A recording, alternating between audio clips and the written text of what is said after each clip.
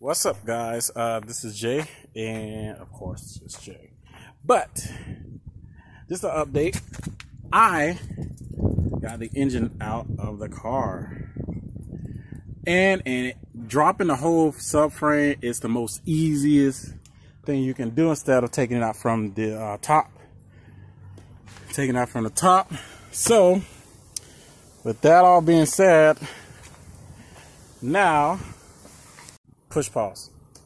Whatever you do, do not do this. do this at your own risk. so, but yeah. But everything is like all the wires was easy to unhook. Um, but I'm gonna have to hook this back up because when I was when the engine fell, not what I fell out, but when I was uh, bringing down the uh, the engine with the thing that came out of the uh, the steering column which isn't too bad because I can fix that. See, it's right there. You just go right back in the hole. How cool is that? Look at that. Everything is so, like, everything is right there. But I would hate to uh, get the, there's a sensor in the back that I will not like to take out because, like, right in the crack of the car.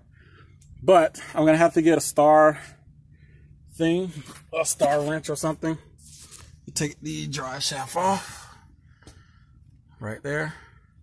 See if I can zoom it. Yep, right there.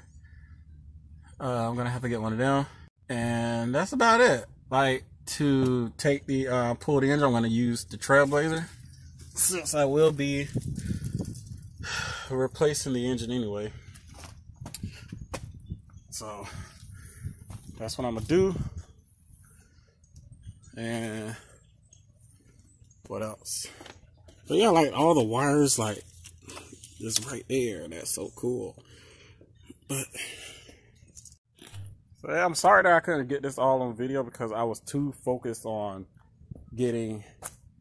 I was too focused on getting the engine out. Uh, I'm sorry I couldn't do a video. So, but yeah, this is just a quick update. Uh, I got the engine out. And what I'm gonna do is pull this one out when I um, take off the drive shaft.